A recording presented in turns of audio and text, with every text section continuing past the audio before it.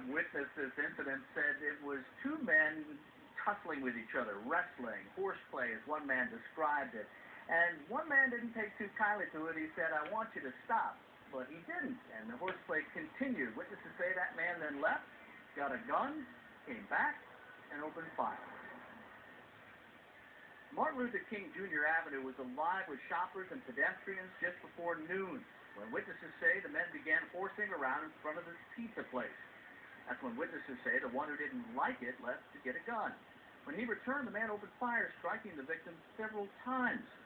Witnesses say the man was told to stop playing around, but instead kept it up. The busy street near Malcolm X Avenue was quickly shut down as police saturated the area. One woman who says she knows the victim showed up on the scene in hopes of learning the man's condition. Police say the gunman took off. The victim is expected to survive. No one else was harmed in the assault. Well, I mean, we do have shootings that take place from time to time. Um, it's not the first one we've had. I'm sure it was last one we had, so we're just pretty much asking for the public's help.